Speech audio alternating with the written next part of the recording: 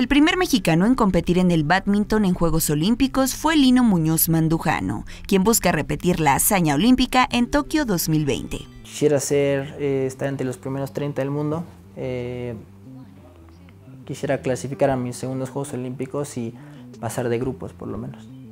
En entrevista con Notimex, el atleta de alto rendimiento recordó que su entrenador lo motivó para alcanzar el sueño olímpico y sí me dijo, este, estos olímpicos pues son los primeros para ti, es, momento de que eh, lo disfrutes más que nada y a los próximos ya tienes obviamente nuevas responsabilidades, ¿no? ya, es, ya son tus segundos juegos, ya vas con eh, nuevas metas, ¿no? entonces mi plan pues obviamente es primero calificar y después este, mejorar lo que hice ¿no? exponencialmente o lo, o lo que se pueda.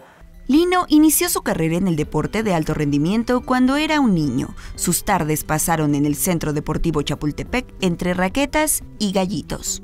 En mi caso, y creo que fue por suerte, a mí siempre me gustó mucho hacer deporte.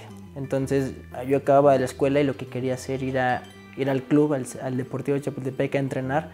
Y después de entrenar siempre jugué con amigos que tenía en el club. Entonces para mí eso siempre fue como muy motivante y era algo que quería hacer, ¿no? O sea, no, no me causaba tanta eh, ilusión como después de clases ir a mi casa a ver la tele, hacer la tarea.